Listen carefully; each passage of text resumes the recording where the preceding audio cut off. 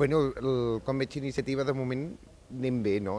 Tenim una, una posició fàcil, però hem de fer que el discurs d'iniciativa sigui el discurs del carrer. Per tant, hem de continuar amb aquesta, amb aquesta tendència de que iniciativa ha de tenir un peu en les institucions, ajuntaments, eh, Generalitat, Congrés, i un peu també en el carrer.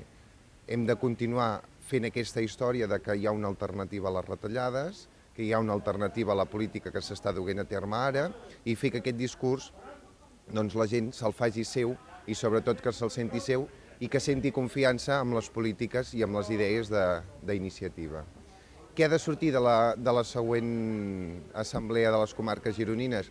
Crec que han de sortir tres eixos bàsics, de, que tots estan relacionats amb la crisi. Una que és la crisi econòmica, per tant, les, les alternatives a les retallades i les alternatives al sistema econòmic que tenim actualment.